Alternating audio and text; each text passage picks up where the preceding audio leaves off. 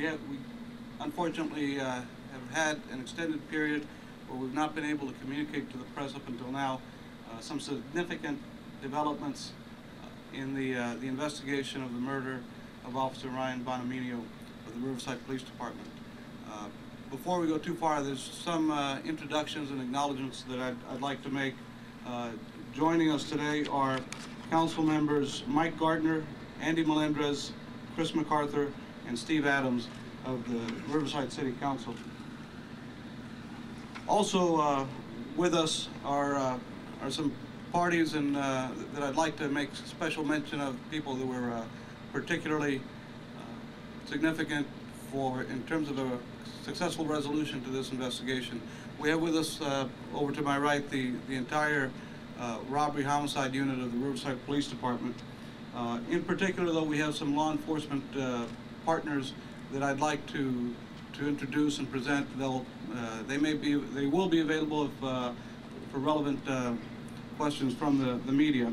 Uh, First of all, the San Bernardino, San Bernardino Sheriff's Office Crime Lab uh, has been processing all of the physical evidence uh, in this case. And they were, um, they were critical, they were very necessary in terms of the, the resolution of this case to this point. Uh, the case is broken largely based on, on physical evidence. The San Bernardino Sheriff's Office Crime Lab, uh, under the leadership of their director, Steve Johnson, this gentleman here, uh, has made the, the processing of the physical evidence in this case a priority for their lab. They essentially put uh, all of the work aside. And that, um, that resulted in, in key evidence that, that uh, led to the arrest of the, of the suspect in this case. Uh, along with, with Mr. Adams are uh, a couple of employees that uh, did the, the, the heavy lifting, the, uh, the actual work that led to the identification of the suspect. Uh, those persons are crime scene spe- specialist Carrie Findall and fingerprint examiner Amanda Haleman. Once the suspect was identified, we called on our law enforcement partners, in particular on the FBI, which leads a, uh, a task force, the Inland Regional Apprehension Team, IRAT. Uh, FBI Supervisor Don Roberts is, is with us at the podium today, and again, we want to take this opportunity to thank him and, and his team for, uh, for their work in, in helping us catch this person. Finally, since the, uh, since Sunday night, in response to this crime, the Riverside County District Attorney's Office uh, has been with us side by side constantly and uh, through, through this morning. They've been under the, uh, the leadership of Assistant District Attorney Chuck Hughes and Deputy District Attorneys John Aki and Mike Hestrin have been with our officers uh, the whole time, uh, helping us take the, the appropriate steps, legal steps, uh, safeguarding this case, uh, helping with the, the search warrants that were executed early this morning. And finally, uh, I know you all have met before Joe Bonaminio, uh, the father of, of Ryan. Mr. Bonaminio's family, of course, has paid the ultimate price uh, in, in that uh, they've given up their, the life of their, their son.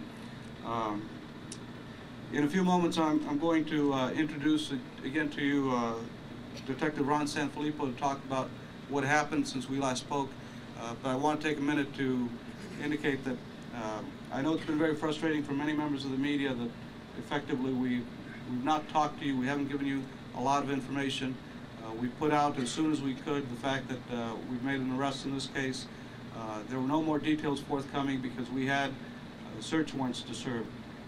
Over the course of the, the early morning hours, we served three search warrants um, in various parts of Riverside County, and it was imperative to us that not a lot of information get out so that any evidence that was uh, available would be preserved. And we're happy that, uh, that uh, that was the case. Uh, With that, I'm going to turn it over to Detective Sanfilippo, uh, who'll give you a chronology of what's happened since we last met, and will be available to answer your questions. Thank you. By the way, I, I'll point out that uh, uh, Detective Sanfilippo is wearing the same clothes you saw him in yesterday afternoon. That's because he hasn't gone home. The, uh, the entire detective division, uh, or the, robbery homicide unit in particular, has worked on this nonstop, and, uh, and we're putting off letting them go home and get some needed rest. until the, the public information part of this case uh, has been concluded. Thank you. About the time yesterday when I was speaking to uh, everyone here, um, we were we got information that we had a fingerprint hit um, that was located inside the vehicle that the suspect had stolen. Uh, the investigators uh, followed up on that fingerprint hit and led us to the suspect that is currently in custody. We did uh, extensive background checks and had many officers uh, at the station last night running vehicles, doing everything possible to locate this subject. When we did locate the subject, which was last evening about 8 or 8.30 in the city of Riverside in the Target parking lot, he was apprehended. He was with his girlfriend and both were taken to the Riverside Police Department for interviews. After the interviews were completed, the suspect, Earl Ellis Green, was booked for murder on a police officer. We also spoke to his girlfriend. We documented her statements, and she was released. We also proceeded to do three search warrants, like the chief said, gain some valuable evidence, including recovering the officer's handgun. We still have a lot of information to gather, a lot more people to speak with, and that's a lot of the reason why we had to be tight-lipped on what was going on, especially a sensitive case like this with the officer. If anything got out, the possibility of the suspect leaving the area was great. Therefore, it wasn't like we were just hiding information. It was just very important to the case to get, apprehend him as soon as possible. Detective, do you know if the gun that was used there, was that used against the officer? Have you been able to verify that yet? We haven't been able to verify it, but it, it possibly could have been the gun used against our officer, yes. Detective, how were you able to track him so quickly to the Target store? Uh, we used, uh, we had so many officers here through different information, uh, gathering facts. Um, it just came about that we found a location, uh, and it just so happened we had people surveilling certain people, and it turned out we located him at that location. That's about as far as I can go on that. Can you take us any more details on how he was able to subdue the officer? I mean, in the fight, how he was able to get the gun away from the officer? Uh, no, I can't. Can't go into detail. Did he make the a suspect's statement? girlfriend be charged with anything? Uh, not at this time. Did he make a statement? Did he talk to you guys? He did speak with us, and then he was booked after his statements. Did he not? Did he say he killed the officer? I really can't go into that this time. Did he tell us anything that he said? No. De- Detective, he has a very extensive background, there's no question about that. Any of the officers involved in this case run into him before, and can you express the frustration you must feel that he's been in and out of state prison all these years? I can't speak for the officers. I didn't really speak to them about if they've run into him before. Nobody mentioned that to me. It is very frustrating that uh, someone that was in custody is out, but we run into that every day in, in this job. There's also a report that is according to his cousin that he called the officers on, I believe it's Saturday or Sunday, I'm not sure which date, and that the officers were told he is going crazy, he's uncontrollable, can you please arrest him? Can you go into that at all? Did that actually happen? And I- did the I- officers go to the house? I'm totally unaware of that. Totally unaware. Totally unaware. Can you tell us the officers weapon the weapon that Officer Bambino would have, would have had on him? The weapon we recovered? The weapon we recovered is the officer's gun. Is there any significance to the ten rounds on the picture there? Or is that just, I haven't even seen the picture. there's, there's ten rounds right there, I don't know if maybe ten rounds were fired? Chief, Those, those rounds were in the magazine when the weapon was, was uh, recovered. You'll note that there was uh, one round over the ejection port of the pistol. I believe that indicates that that was the round that was in, in the chamber of the pistol. It appears that he was shot us with his own when he gun. was paroled? excuse me. It appears that he was shot, the officer was shot with his own gun.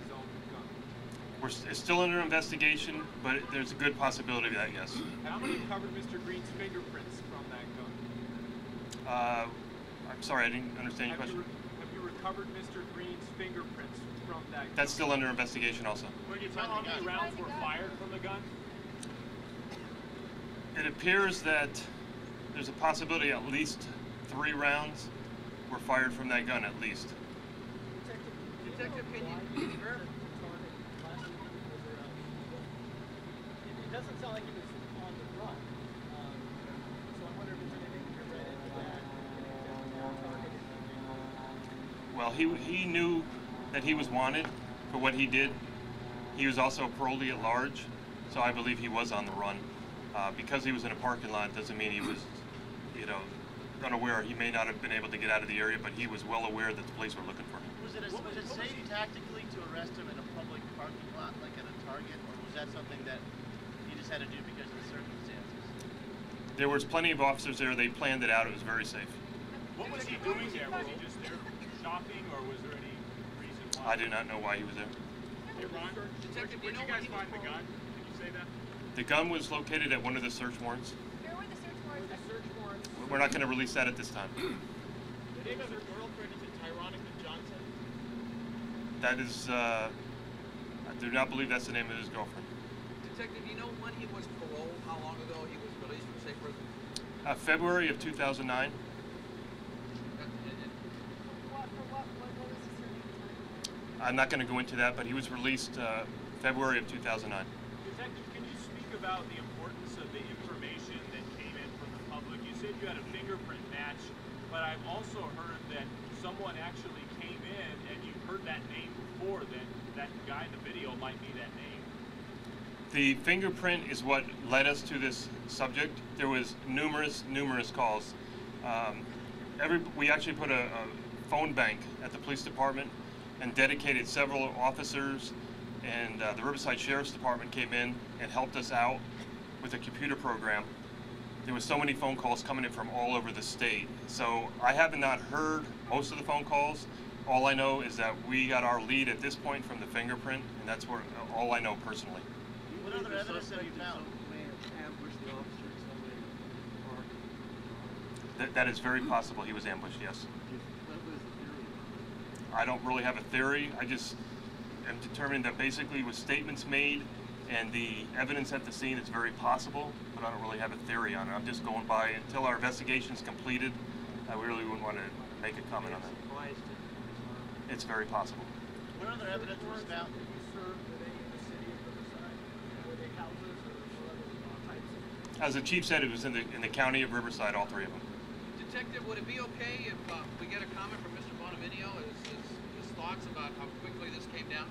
Is that okay if we do that? That's fine with me. Sir, you, you don't mind coming up to the mic and give us your feelings? No, I don't mind. I don't mind at all. Uh, thoughts, sir, on, on this? I, I just, like yesterday, uh, once again, I'd like to thank uh, the city of Riverside, uh, the Board of Supervisors, the mayor, for uh, offering uh, what they offered uh, as far as, uh, I can't think of what, what I want to say right now. But uh, I, I'm, I'm really, I'm really amazed at the speed that, at what this went. And I'm amazed at the, the amount of dedication that these people have to, you know, to their, to their, to their job. My son wore his badge very proudly, and he did, you know, his job with the utmost of dedication that you could do. Uh, I also want to thank the governor of the state of California for upping the ante. Uh, my understanding was is there was uh, some, something like $485,000 for reward money. Uh, it's unheard of. It's unprecedented but uh, it was well worth it because if this gentleman is indeed uh, the, the person that was responsible for my son's demise, then so be it, you know. Sir, if it's not too personal or too difficult, can you take us through how you were told, when you were told? I was just informed of this on my way home. Uh, the chief asked me if I'd like to be here at the press conference, and I said yes, I would. You know. You may be talking about how you were informed that there was an No, I'm arrest. talking about last night, the arrest. Oh, uh, ironically, I, I, I turned the TV on. I was looking for something. My wife had gone to bed, uh, and I'm not sure which one of the news stations I had happened to accidentally hit, but it showed a video of, uh, of them arresting uh, Mr. Green in the parking lot at the Target, and that's how I knew that they had a suspect. Did you make a phone call right away after that happened? No, I did not. I turned the TV off and retired for the night. I, I've had a very long day yesterday. Mr. Bonaminio, is there any um, extra frustration knowing that this gentleman's rap sheet, he's been arrested 13 times before, convicted seven times? It's not a surprise. It's not a surprise at all. Nothing surprises me about ex-cons. Have you had a chance to look at the picture? No, I have not. I, I just came in this way. What- what- I don't care what he looks like. I don't care who he is. I just want justice for my son. Sir, the, the idea that he's been out on the street, I mean, in and out of jail, I mean, we've got court records that show he's been arrested 13 different times. I, I don't know if he's gone to prison all those times. It must be maddening for you to be hearing this and to know this. I mean, it's obviously he should not have been on the street. No, he shouldn't have been. But it's it, like I say, it's not surprising. Is it surprising to you that he was on the street? Thank you. It's not surprising to me. You know Not surprising. why? How many convicts do you think are out on the street? How many convicts do you guys think are out on the street today? Can any of you tell me? Nobody knows. These, these gentlemen behind me don't know. These gentlemen in blue do not know how many convicts are actually out there on the street that would commit a crime like this. His sixth felony conviction, he served about 18 months of a three-year term. Uh, what, what, what do you think of that? I reserve a comment on that. I have no comment on it. I'm, I'm afraid I would say something that would be detrimental to my son. What would your son say about the police work? He would, uh, he would be very proud of the work that the Riverside Police Department did. Uh, he was very methodical in the things that he did, you know. Um, just a real short story about my son. When he was in the junior ROTC program at uh, Ramona High School, uh, he met up with Sergeant uh, Major uh, Henry David. And from that time on, that man taught him uh, the respect of a uniform. And in no, not any, at, not at any time that he put that uniform on was there ever uh, a gig that you, we, they call it a gig.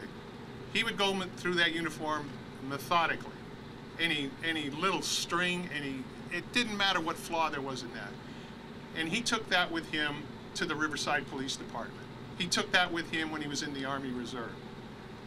And I mean, he dressed the way he should be dressed. He represented his uniform the way he should. He represented that badge the way he should have.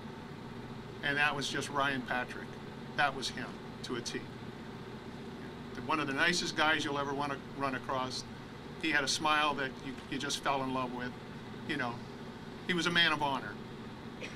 And I'm sorry that he's gone. Our family's sorry that he's gone. And I think that's it, unless you guys have something else.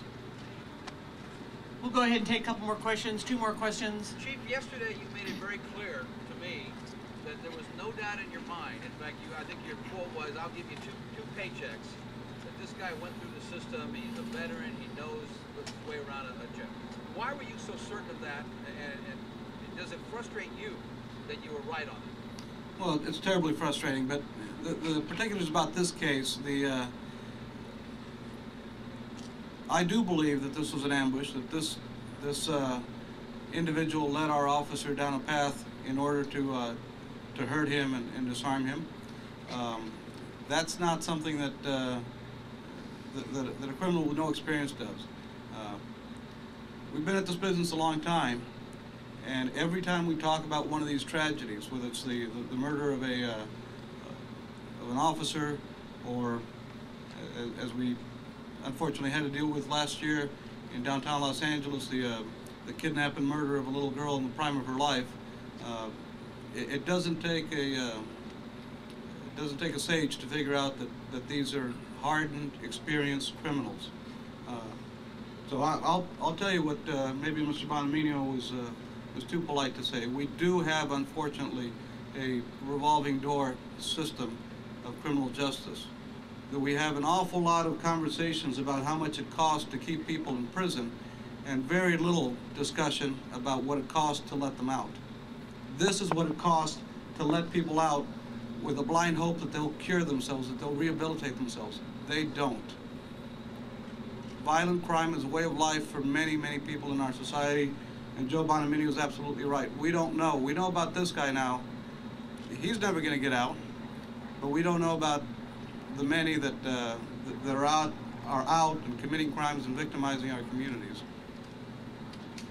The, uh, I, I wanted to, to close by saying that um, as the chief and as one of the newest members of the Riverside Police Department, I am extremely proud of the work of, of the men and women of this department. I was told when I took this job that, uh, that we had a, uh, a detective division that uh, was second to none, and when any major crime occurred in this city, that, uh, these men and women solved it. And, and I've had a chance to uh, confirm that over the last few months, but this case in particular makes me so proud to be a member of this department. Um, to see the way they came together, the, the esteem with which they're obviously held within the, the local law enforcement community, the sacrifices that other agencies made on, on our behalf uh, makes me very, very proud, and, uh, but more than anything else, extremely proud of the professionalism and the competence of the detectives of the Riverside Police Department. Chief, one, one last thing for me. Since it was the fingerprints that was the key, reward money going to play as a factor for any individuals? We'll evaluate any claims for, for rewards. It's, it's uh, very early uh, on, and I'm sure we'll be, we'll be discussing with the people that have put the rewards up and such. Uh, Again, we will have to look at, uh, at all of the information that we were getting and continue to get. By the way, the phone banks are still up, and and we keep an open mind, uh, and we're receptive to any information that the public gives us about this crime. Uh, But we're not going to make a judgment from, from the podium at this point as to, uh, as to the legitimacy of any re- reward claims. We'll, we'll deal with those in the future as they come up.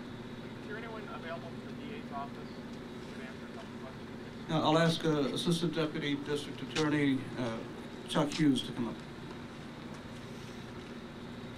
Yes. Sir, uh, in, in, uh, Mr. Mr. Green's, uh, I think six felony convictions now, in, in almost, almost every case, there were several related, uh, charges that were dismissed, that it, uh, including, uh, enhancement, enhancements of, uh, uh, committing a felony within five years of getting out of prison, and in theory, if these had been, uh, prosecuted, it would have been additional time him in jail. Uh, is this, is this par for the course with, with most cases, or why, why, why not, throw the book at, this guy every chance he?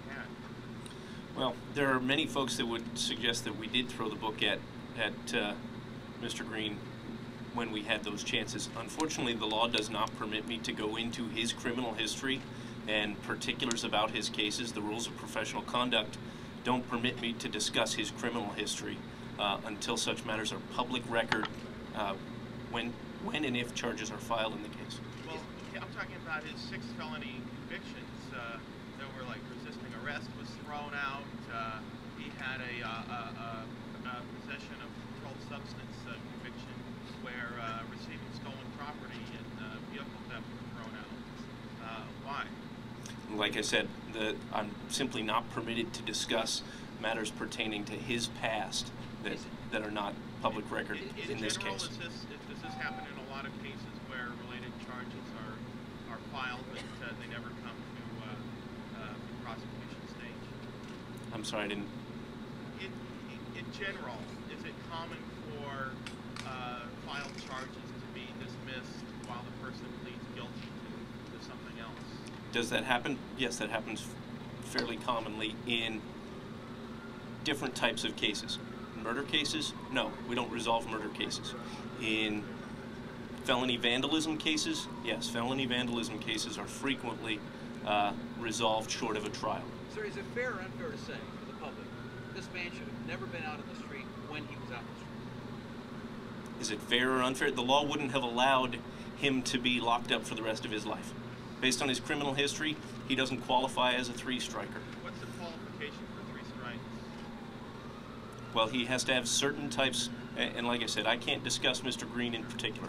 In general, with respect to three strikes, a person has to have qualifying prior violent or serious felonies. Those are defined by the law. Violent or serious felony? Yes, and they're they're defined by the law what qualifies as a violent or serious felony. And it's uh, your assistant district attorney, or, Yes, assistant district attorney. and it's uh, Chuck Hughes? Yes. Spell it H-U-G-H-E-S? Yes. Is the suspect's arraignment on Monday? Yes. Any other questions? No, the process will be that uh, District Attorney Rod Pacheco will meet with homicide prosecutors in our office, senior level management, and uh, detectives and management from the Riverside Police Department. We will review the evidence and uh, file the appropriate charges. Can you, can you say and spell your first and last name and your title? Sure, it's Charles Hughes, C H A R L E S H U G H E S, and my title is Assistant District Attorney. This concludes the, uh, the press conference. We'll remain available for uh, one-on-ones if uh, any member of the media uh, desires it. Thank you.